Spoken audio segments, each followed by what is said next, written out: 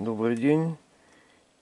И сегодня я для вас сделаю обзор вот такого вот контроллера. Значит, в комплекте идет сопротивление, потом инструкция, провода, чтобы подсоединить к сопротивлению. Также вот такой вот ключ. Ну, это для коннекторов солнечных панелей. В описании под видео будет оглавление. Какой раздел, с какой минуты начинается. Так что кому интересно, можете посмотреть. А сейчас я вам покажу, какой ток потребляет сопротивление, которое шло в комплекте с данным контроллером. Для этого сейчас я его подключу к аккумулятору напряжением 12 вольт.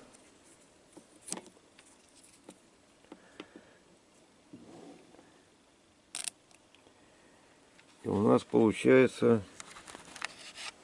значение тока где-то 10 с половиной ампер.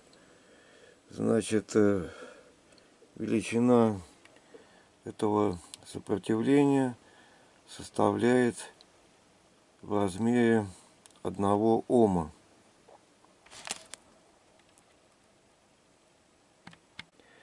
А теперь переходим непосредственно к самому контроллеру. Так, по заявленной мощности, ну вот я такую брал, здесь написано от нуля до 1500 ватт ветер и от нуля до 1500 ватт солнце. Значит, напряжение я выбирал 12-24 вольта. Это автоматическое определение. Итого тут интересно заявлено якобы 3000 ватт. Вот еще давайте ближе поднесу. Ну, на самом деле, конечно, он такую мощность не выдержит исходя из его размеров. Для ветряка мощностью 500 ватт, я думаю, его будет достаточно. Сейчас подключим к аккумулятору, посмотрим, что вообще подсказывает этот контроллер. Нажимая вот эти вот кнопки Up или down мы можем смотреть значит выбирать то что нас интересует на данный момент. Вот например сейчас напряжение вот это я не знаю что это.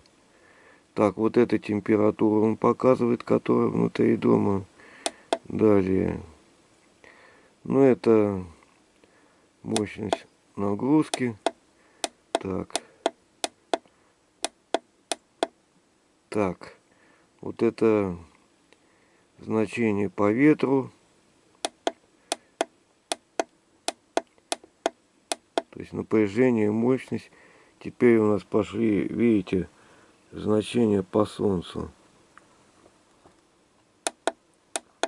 Ну, так как он у меня не подключен сейчас ни к панелям, ни к ветряку, Соответственно, он ничего этого не показывает. Давайте сейчас доведем до напряжения. Вот все, довели до напряжения. Теперь, значит, как этот контроллер настраивается. Очень интересное значение тут имеет кнопка Escape. Давайте попробуем нажать на нее и подержать 3 секунды. Видите, вот тут у нас появились вместо английских букв иероглифы китайские. Также сейчас вот нажмем опять вот эту кнопку Escape и подержим 3 секунды. Вот. Теперь опять появились английские буквы. Далее переходим непосредственно к настройке параметров. Для этого, вот видите, вот эта кнопочка белая, Enter, мы ее нажимаем и держим 3 секунды.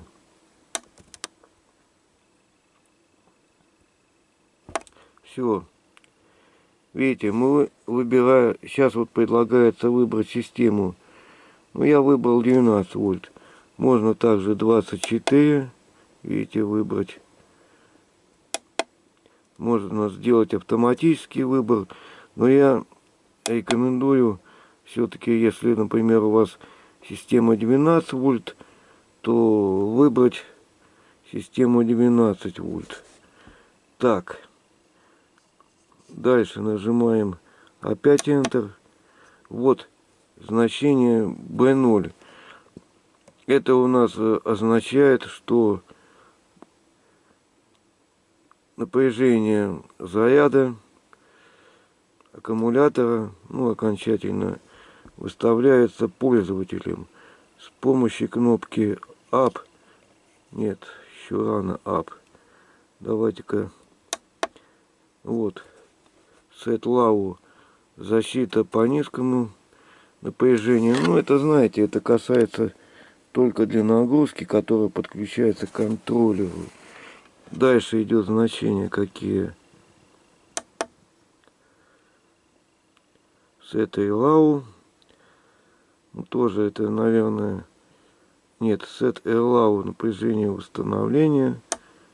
Так, вот 14 вольт это вот настройка максимального значения, который будет пропускать контроллер к аккумулятору. Давайте попробуем сейчас изменить его. Так, можно 14.1 поставить, нажимая кнопку Up. 14.2. Сколько интересно максимум-то будет.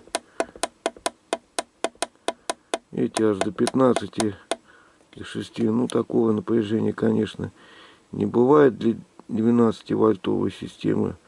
Имею максимального напряжения заряда. Так, давайте опустим до 14 значения. Ну, вот я так решил. Как-нибудь объясню. Может быть, в следующих видео. Так, и что нам это значение подтвердить, нажимаем на кнопку Enter и держим 3 секунды. Все.